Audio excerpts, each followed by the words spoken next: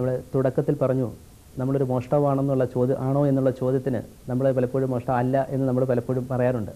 അതിൽ തന്നെ ഉദാഹരണത്തിന് പറഞ്ഞ കഥയിൽ നമ്മൾ നമ്മുടെ കഴിവുകൾ വളരെ തെറ്റായ രീതിയിൽ ഉപയോഗിക്കുന്ന ഒരു ചിത്രകാരന്റെ കഥയാണ് നമ്മൾ ആദ്യം പറഞ്ഞത്. ഇതുപോലെ തന്നെയാണ് നമ്മുടെ നിത്യജീവിതത്തിലും വേണ്ടതായ കഴിവുകൾ ഉണ്ടെങ്കിലും അതിനെ നേരായ രീതിയിൽ വഴി ഉപയോഗിക്കാത്തത് കൊണ്ട് വഴിതെറ്റിപ്പോകുന്ന ഒരു തലമുറ ഇവിടെ വളർന്നു വരുന്നു എന്ന് വേണമെങ്കിൽ നമുക്ക് പറയാൻ കഴിയും. നമ്മുടെ ഈ നേരത്തെ ചോദിച്ചാൽ നമ്മൾ മോഷ്ടാവാണോ എന്ന് ചോദിച്ചാൽ ശരിക്കും നമ്മളെല്ലാം മോഷ്ടാക്കളാണ്. ഈ ശരിയായിട്ടുള്ള കഴിവുകൾ ഉപയോഗിച്ചില്ലെങ്കിൽ നമ്മൾ നമ്മുടെ സമയത്തെ തന്നെ അപഹരിക്കുകയാണ് അവിടെ ചെയ്യുന്നത്. നമ്മുടെ ഒരു മോഷ്ടാവ് നമ്മുടെ ഒരു വസ്തു മോഷ്ടിച്ചുകൊണ്ട് പോകുമ്പോൾ നമുക്കത് ഇല്ലാതാകുന്നു. അതുകൊണ്ട് നമുക്കൊന്നും ചെയ്യാൻ കഴിയുന്നില്ല. അതുപോലെ തന്നെ നമ്മുടെ സമയത്തെ നേരായി ഉപയോഗിക്കേണ്ട നമ്മുടെ കഴിവുകൾ ശരിയായി വിനിയോഗിക്കേണ്ട സമയത്തെ നമ്മൾ തന്നെ മോഷ്ടിച്ച് മാറ്റുമ്പോൾ നമ്മുടെ പ്രവൃത്തികൾക്കൊന്നും ചെയ്യാനൊക്കാത്ത ഒരു അവസ്ഥയാണ് വരുന്നത്. അത്തരത്തിലാകാതെ നമ്മുടെ കഴിവുകളെ നേരായ രീതിയിൽ യുവതലമുറയെ പ്രത്യേകിച്ച് യുവതലമുറയുടെ കഴിവുകളെ നേരായ രീതിയിൽ കൊണ്ടുവരാൻ അവരുടെ സാംസ്കാരിക അല്ലെങ്കിൽ കലാപരമായ പ്രത്യേകതകളെ അവരുടെ കഴിവുകളെയൊക്കെ പ്രോത്സാഹിപ്പിക്കുവാനായിട്ടുള്ള ഒരു വേദിയാണ് അടുത്തത് നിറം. നിറത്തിലൂടെ ആശ ഒരു പുതിയ പ്രതിഭയെ പരിചയപ്പെടുത്തുന്നു. എല്ലാ പ്രേക്ഷകർക്കും നിറത്തിലേക്ക് സ്വാഗതം. ഇന്ന് നമ്മൾ നിറത്തിൽ പരിചയപ്പെടുന്നത് ശ്രീ വിജയൻ പാലാഴിയാണ്. അദ്ദേഹം ഒരു നാടകകൃത്താണ്. കവിയാണ് നാടകഗാന രചയിതാവാണ്. മാത്രവുമല്ല അദ്ദേഹം കേരള കൗമുദിയുടെ സ്പെഷ്യൽ റൂറൽ കറസ്പോണ്ടന്റ് ആണ് ആറ്റിങ്ങിൽ ശ്രീ വിജയൻ പാലാഴിക്ക് നിറത്തിലേക്ക് സ്വാഗതം. താങ്കളുടെ തങ്ങളുടെ വീട് എവിടെയാണ്? ആറ്റിങ്ങലാണ്. ആറ്റിങ്ങിലാണ്. ആറ്റിങ്ങിൽ എവിടെ? ആറ്റിങ്ങൽ അവനവഞ്ചേരി എന്ന് പറയും. ഈ പാലാഴി എന്നുള്ളത് വീട്ടുപേരാണോ? അത് വീട്ടുപേരാണ്. അപ്പൊ എന്ന് തൊട്ടാ നാടകത്തിലേക്ക് ഒരു കമ്പം തുടങ്ങിയത്? വളരെ കൊച്ചിലെ തൊട്ട് നാടകം ഇഷ്ടമായിരുന്നു. നാടകം ഇഷ്ടമാണ് നമ്മുടെ കൂട്ടുകാർ എല്ലാവരും ഇങ്ങനെ ചേർന്ന് നാടകങ്ങളെ നാടകങ്ങളൊക്കെ നാടകങ്ങൾ അഭിനയിച്ച് വന്നപ്പോഴത്തേക്കാണ് നാടകം എഴുതണമെന്നുള്ള ഒരു തോന്നലുണ്ടായത്. ആദ്യത്തെ നാടകം ഏതായിരുന്നു? ആദ്യ നാടകം കൊച്ചിലെ വളരെ കൊച്ചിലെ എഴുതിയ ഒരു നാടകമാണ്. പാണൻ എന്ന് പറയും. പാണൻ. പാണൻ. പാണന്റെ കഥയാണോ? പാണന്റെ കഥയുമായി ബന്ധപ്പെട്ടാണ്. സ്കൂളിൽ പഠിക്കുമ്പോൾ സ്കൂളിൽ പഠിക്കുമ്പോൾ അത്. വളരെ മെച്ചമൊന്നും അല്ലായിരുന്നു ഉം. അതിനുശേഷം. കുടിയിരുത്ത് എന്ന് പറയുന്ന ഒരു നാടകമാണ് വളരെ ശ്രദ്ധേയമായത്. കുടിയിരുത്ത്. കുടിയിരുത്ത്. അവാർഡുകൾ ലഭിച്ചിട്ടുള്ള കുടിയിരുത്തിനാണോ ആ അവാർഡ് ലഭിച്ചത് കുടിയിരുത്തിനാണ് ഏതൊക്കെ അവാർഡുകൾ ലഭിച്ചിട്ടുണ്ട്? ആദ്യത്തെ ജി ശങ്കരപിള്ള നാടക അവാർഡാണ്. അതിന് ലഭിച്ചത്. പിന്നെ മറ്റെന്തൊക്കെ അവാർഡുകൾ കിട്ടിയിട്ടുണ്ട് താങ്കൾക്ക്? അത് കഴിഞ്ഞിട്ട് പ്രതീക്ഷ നാടക അവാർഡ്. പിന്നെ ഗൾഫ് മലയാളി അസോസിയേഷന്റെ കവിത അവാർഡ്. പ്രതീക്ഷ നാടക അക്കാദമിയുടെ അവാർഡ്. ഇങ്ങനെ കുറച്ച് അവാർഡുകൾ കിട്ടിയിട്ടുണ്ട് അല്ലേ കിട്ടിയിട്ടുണ്ട്. പ്രൊഫഷണൽ ആയിട്ടാണോ നാടകം എഴുതുന്നത്? അമച്ചർ നാടകങ്ങളാണ് എഴുതുന്നത്? അമച്ചർ നാടകങ്ങളാണ് എഴുതിയിട്ടുള്ളത് അത്രയും. ഇപ്പൊ എന്താണ് പ്രൊഫഷണൽ നാടകങ്ങൾ വേണ്ടാന്ന് വെച്ചതാണോ? അല്ലല്ല നമുക്ക് ഈ കൂട്ടുകാരുടെ ആവശ്യത്തിനനുസരിച്ചാണ് നാടകം എഴുതിയിട്ടുള്ളത്. അപ്പൊ നമുക്ക് നമ്മുടെ ഏരിയയിൽ കളിക്കുന്നതിന് വേണ്ടിയിട്ട്. അതുപോലെ തന്നെ ഈ അമച്ചർ നാടകത്തിന്റെ പ്രത്യേകതകളിൽ വളരെയധികം താല്പര്യം തോന്നിയിട്ടുമാണ്. ഇത് എഴുതിയത്. നാടകത്തിൽ അഭിനയിച്ചിട്ടുണ്ടോ? ഉണ്ട്. ഇപ്പോഴും അഭിനയിക്കുന്നുണ്ടോ ഇല്ല ഇപ്പം ഇല്ല. അന്ന് നമ്മുടെ അമച്ചർ നാടകങ്ങളിൽ എഴുതിയിട്ടുള്ളതിൽ മിക്കതിലും അഭിനയിച്ചിട്ടുമുണ്ട്. അപ്പൊ താങ്കൾക്ക് ഏറ്റവും കൂടുതൽ ഇഷ്ടപ്പെട്ട താങ്കൾ എഴുതിയ നാടകങ്ങൾ ഏറ്റവും അധികം ഇഷ്ടപ്പെട്ട നാടകം ഏതാണ്? അത് അമരഗീതം എന്ന് പറയുന്നൊരു നാടകമാണ്. എന്താണ് അതിന്റെ ആശയം? അത് ആറ്റിങ്ങൽ കലാപവുമായിട്ട് ബന്ധപ്പെട്ട കഥയാണ്. അതെല്ലാം നടന്ന ചരിത്രമാണത്. അപ്പോൾ അതിന്റെ ഒരു പ്രത്യേക വ്യൂ എടുത്താണ് ഇത് എഴുതിയത്. അതിനുവേണ്ടി ഒരു ഒരുപാട് കഷ്ടപ്പെടുകയും ചെയ്തു. അഞ്ചുതെങ്ങ് പോലെയുള്ള മേഖലയിൽ അഞ്ചുതെങ്ങ് അതിന്റെ. കലാപം തുടങ്ങുന്ന കലാ- കലാപം തുടങ്ങുന്നത്. അപ്പൊ അതുമായിട്ട് ബന്ധപ്പെട്ട് ഈ അഞ്ചുതെങ്ങിൽ തന്നെ പോയി. വളരെയധികം അവരുടെ ഭാഷ പഠിക്കേണ്ടിയൊക്കെ വന്നു. അപ്പോൾ അതിൽ ഒത്തിരി ഒത്തിരി അനുഭവങ്ങളും വളരെ സന്തോഷവും ഉണ്ടായിട്ടുണ്ട്. അപ്പോൾ ഈ നാടകം എഴുതാൻ ശരിക്കും സ്ട്രെയിൻ എടുക്കുന്നുണ്ടോ? ഒരുപാട് സ്ഥലങ്ങളിൽ ഇപ്പം വിസിറ്റ് ചെയ്യുകയും ഓരോ ഓരോ ചരിത്രവും സംസ്കാരവും ഒക്കെ മനസ്സിലാക്കാനും ശരിക്കും ഒരു സ്ട്രെയിൻ ഉണ്ടോ നാടകം എഴുതാൻ? അല്ല അത്തരം നാടകങ്ങൾ എഴുതുമ്പോഴത്തേക്ക് അത് വേണ്ടി വരും. എങ്കിലും ഒരു നാടകം എഴുതി വരാൻ എത്ര സമയം എടുക്കും ഉദ്ദേശം നമ്മുടെ നാടകങ്ങൾ എന്ന് പറയുന്നത് ഈ അമച്ചൂർ നാടകങ്ങൾ ഏതാണ്ട് ഇരുപത് മിനിറ്റുള്ള നാടകം നാടകങ്ങളാണ് അപ്പം അത് എഴുതാൻ എത്ര സമയം എടുക്കും എന്നുള്ളത് പറയാൻ ഒക്കില്ല. കുറച്ച് എഴുതും പിന്നെ അല്ല പിന്നെ കുറേശ്ശെ കുറേശ്ശെയാണോ എഴുതുന്നത്? അത് ഒറ്റ സ്ട്രെച്ചിനാണോ കുറേശ്ശെ കുറേശ്ശെ എഴുതാൻ പറ്റും. അപ്പൊ മനസ്സിലൊരു ആശയം രൂപപ്പെട്ട് കഴിഞ്ഞാൽ ഒരുപാട് നാൾ കൊണ്ടു നടന്നിട്ടാണോ പിന്നീട് അത് എഴുതുന്നത്? അങ്ങനെ ഉണ്ടായിട്ടുണ്ട്. പിന്നെ നേരത്തെ പറഞ്ഞ പോലെ നമ്മുടെ കൂട്ടുകാരുടെ ആവശ്യത്തിനനുസരിച്ച് പെട്ടെന്ന് എഴുതി കൊടുത്തിട്ടുണ്ട്. പാറ്റിങ്ങിൽ ഏതെങ്കിലും ക്ലബിലോ സമിതികളിലോ മറ്റോ അംഗത്വം ഉണ്ടോ? ഉണ്ടുണ്ട് ഏതാണ്? ഫ്രണ്ട്സ് ലൈബ്രറി എന്ന് പറയുന്ന കൊല്ലമ്പുഴ പിന്നെ എ പി എസ് സി മാറ്റിങ്ങിൽ. ഇവരുമായിട്ടൊക്കെ അപ്പൊ അവർക്ക് വേണ്ടിയിട്ടാണ് കൂടുതൽ നാടകങ്ങൾ അല്ല നമ്മൾ പ്രത്യേക ഒരു സംഘടന ഉണ്ടായിരുന്നു. ദൃശ്യ ആറ്റിങ്ങൾ എന്ന് പറഞ്ഞ ഒരു സംഘടന ഉണ്ടായിരുന്നു. അപ്പൊ അതിലാണ് കൂടുതലും അവതരിപ്പിച്ചിട്ടുള്ളത്. വീട്ടിലാരൊക്കെയുണ്ട്? വീട്ടിലെ അമ്മ അച്ഛൻ ഭാര്യ ഒരു മകൻ. മകൻ. അമ്മയും അച്ഛനും ഒക്കെ ഇപ്പം വീട്ടിൽ കൂടെയാണോ? ആ വീട്ടിൽ കൂടെ തന്നെ. അത് ഭാര്യ എന്ത് ചെയ്യുന്നു? ഇപ്പൊ ഡിഗ്രി കഴിഞ്ഞിട്ട് വീട്ടുവേല തന്നെയാണ് മകനോ? മകൻ ഏത് ക്ലാസ്സിലായി? മൂന്നാം മൂന്ന് വയസ്സേ ആയുള്ളൂ മൂന്ന് വയസ്സേ മൂന്ന് ആയിട്ടുള്ളൂ വയസ്സേ ഉം. അപ്പൊ മകനെ നാടക നടനൊക്കെ ആക്കണമെന്നൊക്കെ വല്ല ആഗ്രഹമുണ്ടോ? അതോ? അതെല്ലാം അവരവരുടെ ഇഷ്ടമനുസരിച്ചാണ് അല്ല സാധാരണ ഇപ്പൊ കൊച്ചു കുട്ടികൾ ജനിക്കുമ്പോ തന്നെ നമ്മൾ അവരുടെ ഭാവി തീരുമാനിച്ചു വെക്കുമല്ലോ അങ്ങനെ ഒരു ഐഡിയ ഇല്ല. അങ്ങനെ ഒന്നുമില്ല. അവരവരുടെ വ്യക്തിത്വത്തിനനുസരിച്ച് ജീവിക്കട്ടെ. അപ്പൊ കവിതകൾ എഴുതാറുണ്ടെന്ന് പറഞ്ഞില്ല? അപ്പൊ ഈ കവി- കവിത എഴുതുന്നതിൽ ഒരുപാട് ഒരുപാട് നൊമ്പരമുള്ള അനുഭവങ്ങളാണോ കവിതകളാക്കുന്നത്? അല്ലെങ്കിൽ സന്തോഷം കിട്ടുന്ന അനുഭവങ്ങളാണോ? അല്ല ഇത് രണ്ടും വരാറുണ്ട്. ഒരു ഐഡിയ മനസ്സിൽ വന്നാൽ അത് ഏത് രീതിയിൽ വരുമെന്ന് എഴുതി കഴിഞ്ഞതിന് ശേഷമേ പറയാൻ പറ്റുള്ളൂ. അപ്പൊ അതിന് വളരെ സമയം അതും നേരത്തെ പറഞ്ഞ പോലെ വളരെ സമയമെടുത്ത് എഴുതിയിട്ടുള്ളതുണ്ട് ഉം. പെട്ടെന്ന് എഴുതാൻ ചൊല്ലാമോ വളരെ വളരെ പണ്ട് എഴുതിയിട്ടുള്ള ഒരു രസകരമായ ഒരു കവിതയുണ്ട്. നമ്മുടെ നാട്ടിൻപുറത്തൊക്കെ വളരെ അതിന് ആസ്വാദകരമുള്ള ഒരു കവിതയാണ് കവിതയുടെ? പേര് ചുണ്ടയ്ക്ക എന്നാണ്. ചുണ്ടയ്ക്ക. കേട്ടോടി അക്ക നീ തെക്കേല ശൃംഗാരി തോട്ടത്തിൽ വച്ചൊന്നു കക്കി. കേട്ടോടി അക്ക നീ തെക്കേല ശൃംഗാരി തോട്ടത്തിൽ വച്ചൊന്നു കക്കി. ടാപ്പിങ്ങുകാരന പരദേശിയോളെ താങ്ങിയെടുത്തോണ്ടു പോയി. ആശുപത്രിയിലാണെന്നു കേട്ടു. അവൾ വല്ലാത്ത പൊല്ലാപ്പിൽ പെട്ടു. കണ്ണു ദൃഷ്ടിയാണേ അക്ക. ഞാൻ കണ്ടതാണിക്കാര്യം കേട്ടോ. കള്ളത്തരമൊന്നുമല്ല. എന്റെ പത്തു പിള്ളേരാണ് സത്യം. ടാപ്പിങ്ങുകാരനുമോളും ആ തോട്ടത്തിൽ വച്ചെന്നും കൂടും. അന്നേ നീനച്ചു ഞാൻ പെണ്ണ് അവൾ മിന്നില്ലാതമ്മയാമെന്ന്. കണ്ടതും കേട്ടതും ചൊല്ലിക്കൂടിക്കാലം കള്ളത്തരമെന്നു ചൊല്ലും. ചൊന്നതു ഞാനാണെന്നാരോടും ചൊല്ലല്ലേ? ചൊന്നെന്നെ പൊല്ലാപ്പിയിലാക്കിയിടല്ലേ ഇരുചേവി അറിയേണ്ട പൊന്നേ ഇതു പരമരഹസ്യമായി കാക്കാം. ചുണ്ടയ്ക്ക വെണ്ടയ്ക്കയായി പിന്നെ വെണ്ടയ്ക്ക പൊട്ടി വളർന്നു. കൈവച്ചു കാൽവച്ചു ചിറകും വച്ചു നാട്ടാരു മൂക്കത്തു വിരലും വച്ചു. അല്പമെന്തെങ്കിലും കിട്ടുവാനായി ആർത്തി പൂണ്ടുള്ളോർക്കു പൂരമായി. തൊങ്ങാലു കെട്ടിപ്പെരുമ്പറ കൊട്ടി ഛർദിലു ഗർഭത്തിനാരംഭമായി ആ രഹസ്യം പിന്നെ നാട്ടിൽ മുഴുവനും പാട്ടായി നാട്ടാരു പൊട്ടിച്ചിരിച്ച് കടൽ കടന്നക്കരെ എത്തി കാര്യം കരളു പറിക്കുന്നതായി. പെണ്ണിനെ മോഹിച്ചു മോതിരം മാറിയ മണവാളനൊന്നു നടുങ്ങി. പെണ്ണിനെ വേണ്ടെന്നു വച്ചു അവൻ നാട്ടാരെ ചൊൽമൊഴി കേട്ട്. എങ്കിലും അയലോക്കാരിയല്ലേ നമ്മളും കണ്ണു വച്ചോളുമല്ലേ? അന്നവൾ സീതാ ചമഞ്ഞോളല്ലേ? ഇപ്പോൾ ഒന്നുപോയി കാണാം കുഴപ്പമില്ല. ഭിക്ഷഗ്വരൻ എന്റെ കൂട്ടുകാരൻ. കാര്യം ചൊന്നപ്പോൾ ഊറിച്ചിരിച്ചുപോയി.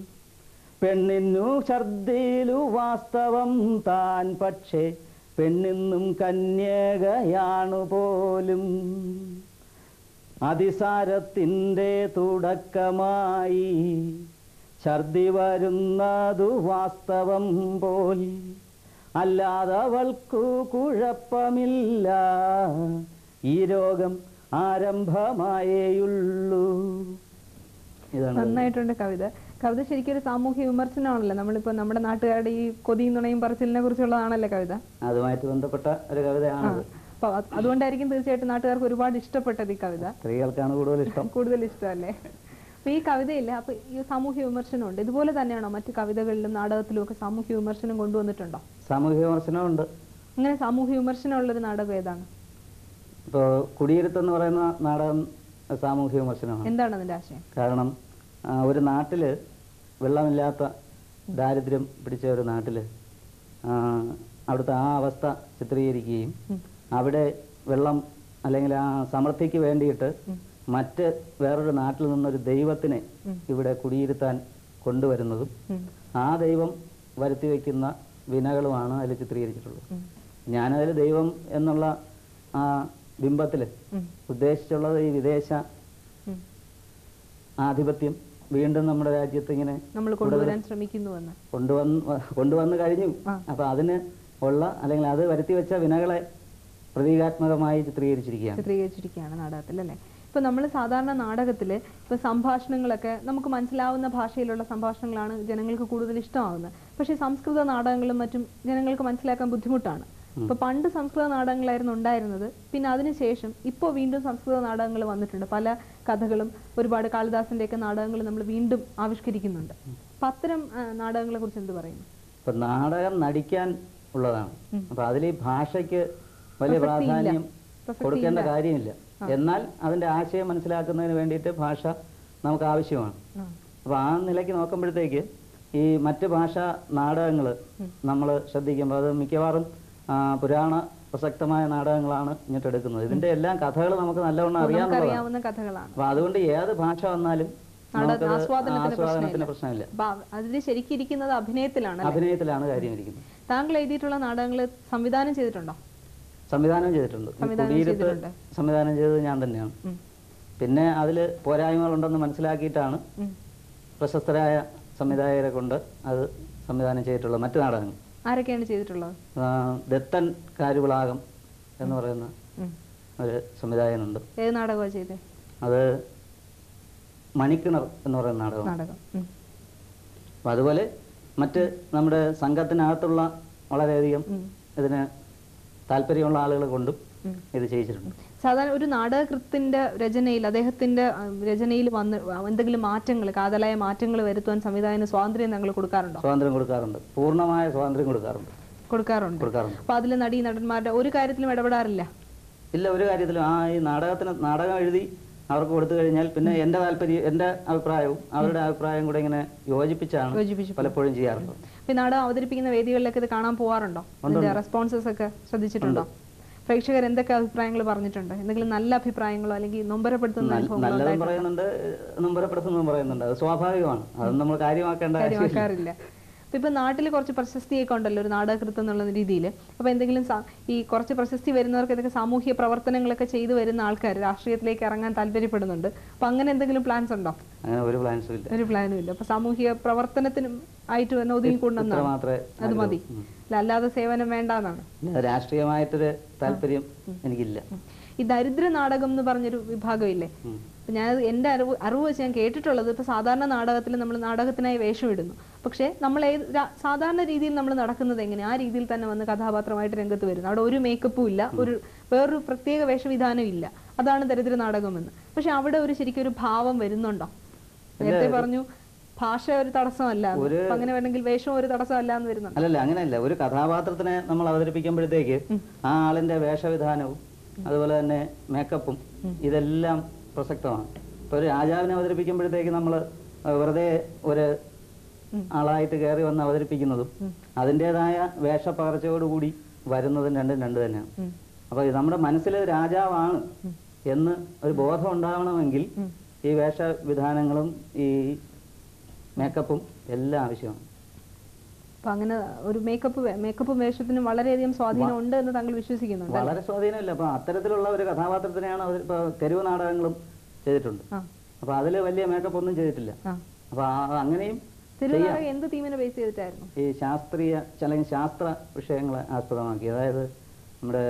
സാക്ഷരതയുമായിട്ട് ബന്ധപ്പെട്ട് ചിറയൻകീഴ് താലൂക്കിന്റെ. കലാജാഥ മുഴുവൻ ചെയ്തു കൊടുത്തത് ഞങ്ങളൊരു മൂന്നാൽ പേര് കൂടിയാണ്. അപ്പൊ അതിൽ പങ്കെടുക്കാനും അതിൽ ഈ തെരുവ് നാടകങ്ങൾ ചെയ്യാനുമുള്ള അവസരം കിട്ടിയിട്ടുണ്ട്. അപ്പോൾ അതിൽ നമ്മൾ ചെയ്തതെന്ന് വെച്ചാൽ വളരെ മേക്കപ്പ് ഇല്ലാതെ ആണ് ചെയ്തിട്ടുള്ളത്. അപ്പോൾ അങ്ങനെ അപ്പോൾ എങ്ങനെയാണോ ആസ്വാദകന് ആ തീം മനസ്സിലെത്തേണ്ടത് അതിനുവേണ്ടി എന്തെല്ലാം ചെയ്യണം അല്ലെങ്കിൽ എന്തെല്ലാം ചെയ്യാതിരിക്കാം. അപ്പം ഇത് രണ്ടും മനസ്സിലാക്കിയിട്ട് ചെയ്യേണ്ടതുണ്ട്. ഇപ്പൊ നാടകത്തിൽ നിന്ന് ഇപ്പോൾ സിനിമയിൽ നാടകത്തിൽ നിന്നാണ് സാധാരണ നമ്മൾ സിനിമയിലേക്ക് പോയിരുന്നത് അല്ലെങ്കിൽ സീരിയലിലേക്കൊക്കെ നമ്മുടെ നടിമാരും നടന്മാരും ഒക്കെ പൊയ്ക്കൊണ്ടിരുന്നത്. പക്ഷേ ഇപ്പോൾ തിരിച്ചു വരുവാണ്. സിനിമയിൽ നിന്ന് സീരിയലിലേക്കും അതുപോലെ സിനിമയിൽ നിന്ന് നാടകത്തിലേക്കും ഒക്കെ വരുന്നു ഇപ്പോൾ മോഹൻലാൽ തന്നെ കർണഭാരം ചെയ്യുന്നുണ്ട്. അപ്പോൾ അങ്ങനെ വരുമ്പോൾ ശരിക്കും ഈ രംഗത്തുള്ളവരുടെ ഒരു ഇപ്പം നിലവിലുള്ള സജീവമായിട്ടുള്ളവരുടെ ഒരു അവസ്ഥ അവസരം കുറയില്ലേ? പക്ഷെ നാടകത്തിന് പബ്ലിസിറ്റി കൂടുവാണ്. ഈ അവസരം കുറയും എന്നൊന്നുമില്ല. അഭിനയിക്കാൻ അല്ലെങ്കിൽ ആ രീതിയിൽ നാടകം വേറെ സിനിമ വേറെ. അപ്പൊ ആ രീതിയിൽ നമുക്ക് ചെയ്യാൻ കഴിയുന്നുള്ള ആളുകൾ വരുമ്പോൾ ആ. നാടകം കുറച്ചുകൂടെ. പോപ്പുലർ ആവുകയുള്ളൂ ഇപ്പൊ നമ്മുടെ ജനങ്ങൾക്ക് ഇപ്പൊ നാടകം ഇപ്പൊ കുറച്ചുകൂടെ കഴിയുമ്പോൾ എന്തായാലും അത് പോപ്പുലർ ആവും ഇപ്പോഴും ഇപ്പോഴത്തെ അവസ്ഥയിൽ നാടകം ശരിക്കും പോപ്പുലർ ആണോ ഇപ്പോൾ ഗാനമേളകളും മിമിക്സ് പരേഡുകളും പിന്നെ സിനിമയും ഒരുപാട് ചാനലുകളൊക്കെ വന്നപ്പോൾ നാടകത്തിനുള്ള പ്രസക്തി കുറഞ്ഞിട്ടില്ലേ? അത് ചില നാടക സമിതികളുടെയും ചില നാടക കൃത്തുക്കളുടെയും ആ, കയ്യിലിരിപ്പിന്റെ ഗുണവുമായിട്ട് ബന്ധപ്പെട്ടാണ്. കാരണം ഒരേ പാറ്റേണിലുള്ള നാടകങ്ങൾ ഒരുമിച്ച് അല്ലെങ്കിൽ ഒരേപോലെ വന്നുകൊണ്ടിരുന്നാൽ പ്രേക്ഷകർ അതിൽ നിന്ന് വിട്ടുമാറും. കാരണം അത് തന്നെയാണ് ഇത് ഇത് തന്നെയാണ് അത് എന്ന് പറഞ്ഞ് അവർ വിട്ടുമാറും. നേരെ മറിച്ച് നല്ല രീതിയിൽ അവതരിപ്പിക്കുകയും ഏത് തീമായാലും പഴയ തീമായാലും നല്ല രീതിയിൽ പുതുമയോടുകൂടി അവതരിപ്പിക്കുമ്പോഴത്തേക്ക് അതിന് പ്രേക്ഷകരുണ്ടാവും. ഇപ്പൊ സിനിമയുടെ ഏറ്റവും അവിഭാജ്യമായ ഒരു ഘടകം എന്ന് പറയുന്ന സംഗീതം പാട്ടാണ്. നല്ല പാട്ടുകളുണ്ട് സിനിമയിൽ അതുപോലെ നാടകങ്ങളിലും പാട്ടിനൊരു സ്വാധീനമുണ്ട്. താങ്കൾ- താങ്കൾ ഗാനരചന നടത്തിയിട്ടില്ലേ നാടകത്തിൽ ഏതൊക്കെ നാടകങ്ങളിൽ താങ്കൾ ഗാനരചന നടത്തിയിട്ടുണ്ട്? അമരഗീതം. അമൃത സംഗീതം ചിരിക്കുന്ന മനുഷ്യൻ പിന്നെ സ്നേഹസാഗരം ഇങ്ങനെ കുറച്ച് പ്രൊഫഷണൽ നാടകങ്ങൾ കാണും. ഇപ്പൊ നാടകകൃത്താണ് നാടക ഗാനരചയിതാവാണ് കവിയാണ്. ഇതിൽ ഏത് മുഖമാണ് താങ്കൾ ഏറ്റവും കൂടുതൽ ഇഷ്ടപ്പെടുന്നത്? ഏറ്റവും ഇഷ്ടം കവി എന്നുള്ള മുഖത്തോടാണ്. കവിയാണ്. കവിതാ സമാഹാരങ്ങളും എല്ലാം ഇറക്കിയിട്ടുണ്ടോ? ഇറക്കിയിട്ടുണ്ട്. എന്താണ് കവിതാ സമാഹാരത്തിന്റെ പേര്? പ്രളയം എന്ന് പറയുന്ന ഒരു കവിതാ സമാഹാരം. ഇറക്കിയിട്ടുണ്ട്. അപ്പം എത്ര കവിതകളുണ്ട് അതിൽ? അതിൽ പതിനഞ്ച് കവിതകൾ ചേർന്നാണ് പതിനഞ്ച് കവിതകളുണ്ട് മറ്റേതെങ്കിലും കവിതാ സമാഹാരം ഇറക്കിയിട്ടുണ്ടോ? ഇല്ല ഇല്ല ഇല്ല. മറ്റു പുസ്തകങ്ങളോ? പുസ്തകങ്ങളിൽ ഒരുപാട് മറ്റ് സമാഹാരങ്ങൾ മറ്റ് ഒരുപാട് കവികളുടെ സമാഹാരങ്ങളുടെ കവിതകൾ വന്നിട്ടുണ്ട്. വന്നിട്ടുണ്ട്. അല്ലാതെ താങ്കളുടെ നാടകങ്ങളോ രചനകളോ ശേഖരിച്ച് മറ്റു മറ്റാരെങ്കിലും പ്രസിദ്ധീകരിച്ചിട്ടുണ്ടോ? അതുകൊണ്ട് നമ്മുടെ ഈ ചിറയൻകീഴ് താലൂക്കിന്റെ സാക്ഷരത. അതിന്റെ ആഭിമുഖ്യത്തിൽ നമ്മൾ ചെയ്ത ഈ വർക്കുകളെല്ലാം ചേർത്ത് ഒരു പുസ്തകമായിട്ട് അവർ തന്നെ എന്താണ് എന്റെ പേര്? അറ നിറയെ പറ നിറയെ ഉച്ചക്കാരേ അറ നിറയെ പറ പറ നിറയെ. നിറയെ. ഒരു കവിത ഒന്ന് ചൊല്ലാവോ? ഉച്ചയ്ക്കാരെ മുട്ടി വിളിച്ചത് ദുശകുനത്തിൻ കാറ്റോ. മച്ചിലിരുന്നു ചിരിച്ചത് നിന്നുടെ മനമറിയും പൊളിവാക്കോ. ഉച്ചയ്ക്കാരെ മുട്ടി വിളിച്ചത് ദുശകുനത്തിൻ കാറ്റോ. മച്ചിലിരുന്നു ചിലച്ചതു നിന്നുടെ മനമറിയും പൊളിവാക്കോ. നേരം കെട്ടൊരു നേരത്താരെ തീപായിച്ചിതു കരളിൽ. തേരുരുളും വഴി എന്തിനു വെറുതെ തേരട്ടകളുടെ ഓട്ടം? മൂടില്ലാതെ പടർന്നേ പോകും താളി കണക്കു യുവത്വം. അറിവിൻ പുതു പുതുവാതായനമതു തേടി നിറയ്ക്കും പായും. നവമുകുളത്തിനു നൽകി നിറയ്ക്കും വീര്യം പകരുമുണർത്തും. നേരുകളാകെ മറക്കും അറിവുകൾ അവിവേകപ്പുകയാകും. വേരുകളൊന്നും നോക്കേണ്ടിനി നീ വാക്കിനു വേഗം പോകൂ. ഇടിച്ചു കയറുക അവിടവിടെല്ലാം ഇടർച്ചയുണ്ടാകേണ്ട. പറയുകയാണീ മായാഹരിത നൂലുകൾ തലയിഴയാട്ടി.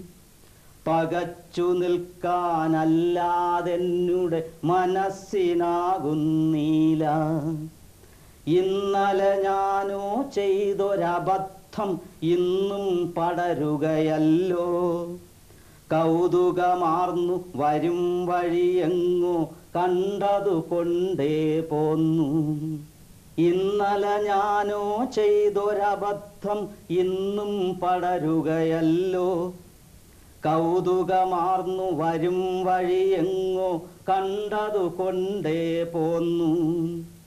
സംസ്കാരത്തിൻ ഭൂരുഹമുകളിൽ അലങ്കാരത്തിനു ചാർത്തി. അവ പടരുന്നു ദലമില്ലാതെ വേരില്ലാതെ നടുങ്ങി. ഇല്ലാതാക്കാനാവതു നോക്കിയിട്ടെന്നെ മുറുക്കുകയത്രേ.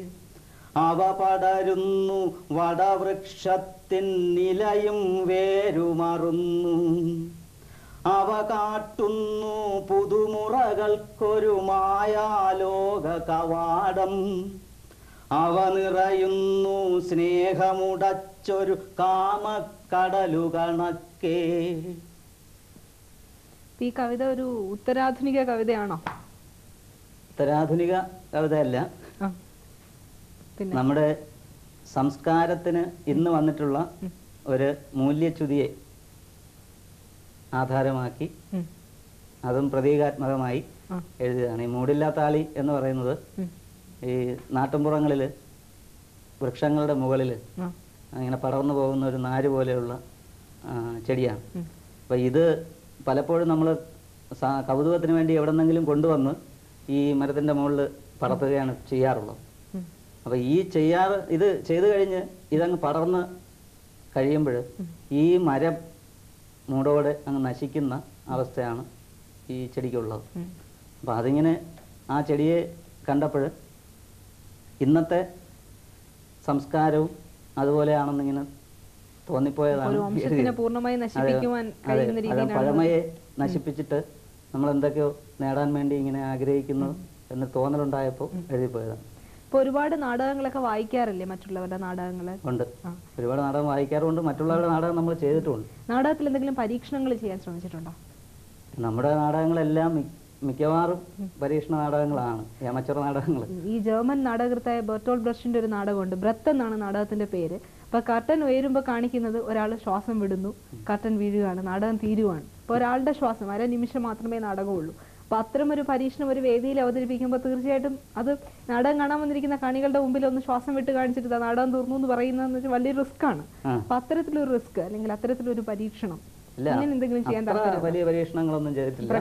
കാരണം പ്രേക്ഷകർ എന്ന് പറയുന്നത് ആണ് ഏറ്റവും പ്രധാനം. ഒരു നാടകം എടുക്കുമ്പോഴത്തേക്ക് ആസ്വാദകരാണ് പ്രധാനം. അപ്പൊ ഏത് തരം പ്രേക്ഷകരെയാണ് താങ്കൾ ഉന്നം വെക്കുന്നത്? സാധാരണ നിലവാര നിലവാരത്തിലുള്ള നമ്മുടെ നാട്ടിൻപുറങ്ങളിലെ സാധാരണ പ്രേക്ഷകരെയാണോ? അതോ കുറച്ചുകൂടെ എന്താണ് ചിരിക്കാനും ചിന്തിക്കുവാനും ഒക്കെ മടിയോ അല്ല ചിന്തിക്കുവാൻ ഇഷ്ടമുള്ളതും ചിരിക്കാൻ മടിയുള്ളതുമായിട്ട് ഒരു ഗൗരവമുള്ള പ്രേക്ഷകരെയാണോ? അല്ല അങ്ങനെയല്ല. ഇതിന് രണ്ടിനും ഇടയ്ക്കുള്ള ഒരു പ്രേക്ഷകരാണ് നമ്മുടെ നാട്ടിലുള്ളത്. നാട്ടുമൃതന്റെ പ്രത്യേകത അതാണ്. അപ്പൊ അതുകൊണ്ട് തന്നെ അത്തരത്തിലുള്ള നാടകങ്ങളാണ് കൂടുതലും ചെയ്തിട്ടുള്ളത്. അപ്പൊ ഇവിടെ ഒരു ഷേക്സ്പിയറിയൻ വ്യൂ കൊണ്ടുവരികയാണല്ലേ? ഷേക്സ്പിയർ ഇങ്ങനെയുണ്ട്. എല്ലാ തരക്കാർക്കും ഒരുപോലെ ആസ്വദിക്കാൻ കഴിയുന്ന നാടകം അതൊക്കെ എന്ത് വേണോ നമുക്ക് വ്യാഖ്യാനിക്കാം. പക്ഷെ എല്ലാ തരക്കാർക്കും ആസ്വദിക്കണമെന്നുള്ള ഒരു താല്പര്യമുണ്ട്. എന്ത് ഏതെങ്കിലും ഒരു നാടകം ഇനി എന്തെങ്കിലും ഒരു ആശയം അല്ലെങ്കിൽ ഏതെങ്കിലും ഒരു കവിതയോ അല്ലെങ്കിൽ നാടകം ഏതെങ്കിലും ഒരു ആശയത്തിനെ ബേസ് ചെയ്ത് ചെയ്യാൻ മനസ്സിൽ പ്ലാൻ ഉണ്ടോ? എന്തെങ്കിലും ഒരു ആശയം അങ്ങനെ കിടപ്പുണ്ടോ? ഇല്ല. അല്ല ഇപ്പൊ ഒരാശയം ഇല്ല. ഇല്ല. ഇപ്പൊ ഏതെങ്കിലും പുരാണത്തിലെ കഥാപാത്രങ്ങളെ വല്ലതും നാടകത്തിൽ കൊണ്ടുവരണം ഇല്ല അങ്ങനെ ഒരു ആശയം ഇതുവരെ ഇല്ല. ഇല്ല. ഇപ്പൊ മനസ്സ് ബ്ലാങ്ക് ആണ്. ഇപ്പൊ മനസ്സ് ബ്ലാങ്ക് ബ്ലാങ്ക് ആണ്. അപ്പൊ ബ്ലാങ്ക് ആയിട്ടുള്ള പേപ്പർ ആണല്ലോ എഴുതി തുടങ്ങാൻ ഏറ്റവും നല്ലത്. അത് ശരിയാണ് അപ്പോൾ എന്തായാലും ഈ ബ്ലാങ്ക് ആയി ഇപ്പൊ കിടക്കുന്ന ഈ ഒരു അവസ്ഥയിൽ നിന്ന് ഒരുപാട് പേപ്പറിൽ ഈ ഒരു ബ്ലാങ്ക് ആയിട്ടുള്ള പേപ്പറിൽ ഒരുപാട് രചനകൾ നടത്തി ഇനി ഒരുപാട് അവാർഡുകൾ ഒരുപാട് അവാർഡുകൾ കിട്ടിയ കൂട്ടത്തിൽ കെൽട്രോൺ അവാർഡിന്റെ കാര്യം മറന്നു അല്ലേ കെൽട്രോൺ അവാർഡും കിട്ടിയിട്ടുണ്ട് കിട്ടിയിട്ടുണ്ട്. മധു സിനിമാ നടൻ മധു ആണ്. നൽകിയത് നൽകിയത് അവാർഡുകളെ പറ്റി പറയുമ്പോഴത്തേക്ക് ആദ്യമായിട്ട് ഗുപ്തൻ നായർ സാറാണ് അവാർഡ് നൽകിയത്. അപ്പോൾ അതിന്റെ ഒരു സന്തോഷവും. ഒക്കെ മനസ്സിലുണ്ട്. പിന്നെ ഈ പ്രളയം എന്ന് പറയുന്ന കവിതയ്ക്ക് അവതാരിക എഴുതിയത് ഭാസ്കര മാഷാണ്. അപ്പൊ ഇങ്ങനെ ഒത്തിരി നല്ല അനുഭവങ്ങൾ ഇങ്ങനെ ഉണ്ട്. ഇപ്പോൾ ഒരു നാടകൃത്തെന്നോ ഒരു കവിയെന്നോ അല്ലെങ്കിൽ ഒരു സാമൂഹിക പ്രവർത്തകനെന്നോ എന്ന നിലയിൽ ഏതെങ്കിലും ഒരു വേദിയിൽ ഒരു നല്ല ഒരു ശ്രോതാക്കളുള്ള ഒരു സദസ്സിൽ സംസാരിക്കാൻ അവസരം കിട്ടിയിട്ടുണ്ട്? അനുഭവങ്ങൾ പങ്കുവയ്ക്കാൻ? അനുഭവങ്ങൾ പങ്കുവയ്ക്കാനല്ല ഈ അപ്പൊ ഇതിപ്പോ സാംസ്കാരിക അങ്ങനെ ഒരു വേദിയാണല്ലോ. അതുപോലെ ഒരു വേദി കിട്ടിയിട്ടുണ്ടോ? സാംസ്കാരിക യോഗങ്ങൾ നമ്മുടെ നാട്ടിൽ മിക്കവാറും എല്ലാവരും തന്നെ വിളിക്കാറുണ്ട്. അപ്പോൾ അങ്ങനെ. സംസാരിക്കാറുമുണ്ട്. പിന്നെ ഇപ്പോൾ വെക്കേഷൻ കാലത്തിൽ ഇപ്പോൾ കോച്ചിങ് ക്ലാസ്സുകളുടെ ഒരു പരമ്പരയാണല്ലോ വരുന്നത് കുട്ടികൾക്ക് വേണ്ടിയിട്ട്. അപ്പോൾ ഏതെങ്കിലും നാടക പഠന കളരികൾ വല്ലതും നടത്താൻ ഉദ്ദേശമുണ്ടോ? ഇല്ല നമ്മുടെ നാട്ടിൽ തന്നെ വെഞ്ഞാറമൂട് രംഗപ്രഭാത് എന്ന് പറയുന്ന സ്ഥലത്ത് നാടകളരി നടക്കുന്നുണ്ട്. നടക്കുന്നുണ്ട്. ശങ്കരപ്പിള്ള സാറിന്റെ ഓർമ്മ നിലനിൽക്കുന്ന തരത്തിൽ. അപ്പം അവിടെ കുട്ടികളെ എത്തിക്കാനുള്ള ചില ശ്രമങ്ങളുണ്ട് ഒന്ന് ചോദിച്ചോട്ടെ ഈ നാടക കളരികൾ ഇപ്പൊ സ്കൂൾ ഓഫ് ഡ്രാമ അങ്ങനെയൊക്കെ ഉള്ളിടത്ത് പഠിച്ചാൽ ശരിക്കും ഒരാളിനെ ഒരു നടനോ നടിയോ അല്ലെങ്കിൽ ഒരു സംവിധായകനോ ആയിട്ട് നമുക്ക് വാർത്തെടുക്കാൻ കഴിയുമോ? ഒരു ജെനുവിനായിട്ടുള്ള ഒരു കഴിവല്ലേ നമ്മുടെ ഉള്ളിൽ വേണ്ടത്? ജെനുവിനായിട്ടുള്ള കഴിവ് ഉണ്ടെങ്കിൽ ഇങ്ങനെ നമ്മളൊരു സപ്പോർട്ട് കൊടുക്കുമ്പോഴത്തേക്ക് ആ. വ്യക്തിക്ക് ഉയരാൻ കഴിയും. ഉയരാൻ കഴിയും. അതില്ലാത്തവരെ നമുക്ക് സൃഷ്ടിക്കാൻ കഴിയില്ലല്ലോ അവിടെ ആ കളരിയിലൂടെ? ഇല്ല അത് യാതൊരു കാരണവശാലും നടക്കില്ല. അപ്പൊ അങ്ങനെയുള്ള ആൾക്കാരെ ഇപ്പം അഭിനയിക്കാനായാലും ചാൻസ് ഒക്കെ ചോദിച്ച് വരുന്നവരായാലും അല്ലെങ്കിൽ നാടക പഠന ക്യാമ്പുകളിൽ വരുന്നവരായാലും അങ്ങനെ വരുന്നവരിൽ ജനുവിനായിട്ടൊരു കഴിവുണ്ടെന്ന് എങ്ങനെ തിരിച്ചറിയും? അത് അവർ അവർ അവരുടെ പെരുമാറ്റത്തിൽ നിന്ന് തന്നെ നമുക്ക് ഈ കാര്യം മനസ്സിലാക്കാൻ പറ്റും. ഇപ്പോൾ ഒരാളുടെ പെരുമാറ്റത്തിൽ നിന്ന് ആ ആൾ എങ്ങനെ കൈകാര്യം ചെയ്യും എന്ന് നമുക്ക് എന്തോ എന്തൊക്കെയോ ചില കഴിവുകൾ കൊണ്ട് നമുക്ക് മനസ്സിലാക്കാൻ പറ്റും. അപ്പോൾ അപ്പൊ ആ മനസ്സിലാക്കൽ പിന്നെ അതില്ലാത്ത കുട്ടികളും വരാറുണ്ട്. വരാറുണ്ട്. അപ്പൊ അവരും ഇതിന്റെ കൂടെ നിൽക്കും പക്ഷെ അത് ഈ കൊഴിഞ്ഞു പോയിക്കൊണ്ടിരിക്കും. അപ്പോൾ ഇപ്പോൾ ഒരുപാട് കാര്യങ്ങൾ നമ്മൾ സംസാരിച്ചു. നാടകത്തിനെ കുറിച്ചും എല്ലാത്തിനെ കുറിച്ചും ഭാവിയെ കുറിച്ച് പക്ഷെ ഒന്നും പറഞ്ഞില്ല. എന്തായാലും ശൂന്യതയിൽ നിന്നിരിക്കുകയാണ്. അപ്പോൾ ശൂന്യതയിൽ നിന്നാണ് എല്ലാം തുടങ്ങുന്നത്. അതുകൊണ്ട് തന്നെ ശൂന്യതയിൽ നിന്ന് ഇനി ഒരുപാട് രചനകൾ നടത്തുവാനും ഒരുപാട് അവാർഡുകൾ കിട്ടുവാനും വിജയൻ പാലാഴി ഇപ്പോൾ ആറ്റിങ്ങൽക്കാർക്കെല്ലാം പരിചിതനാണ്. കുറച്ചുകൂടി പ്രശസ്തി നേടാൻ. അപ്പോൾ കേരളം മുഴുവൻ അല്ലെങ്കിൽ ലോകം മുഴുവൻ അറിയുന്ന ഒരു പ്രശസ്തനായ ഒരു നാടകകൃത്താകാനും ഒരു കവിയാകാനും കഴിയട്ടെ എന്ന് ആശംസിക്കുന്നു. വളരെ സന്തോഷം. ഇന്നത്തെ നിറം ഇവിടെ പൂർണമാവുകയാണ്. നിറത്തിൽ പങ്കെടുക്കാൻ ആഗ്രഹിക്കുന്ന പ്രതിഭകൾ നിങ്ങളുടെ ബയോഡേറ്റകൾ സഹിതം ഞങ്ങൾക്ക് എഴുതുക. ഞങ്ങളുടെ വിലാസം നിറം കെയർ ഓഫ് പനോരമ ടെലിവിഷൻ തമ്പുരാൻ മുക്ക് തിരുവനന്തപുരം മുപ്പത്തിയേഴ്. Email panorama E T H dot net നമ്മൾ എത്ര മുതിർന്നവരായാലും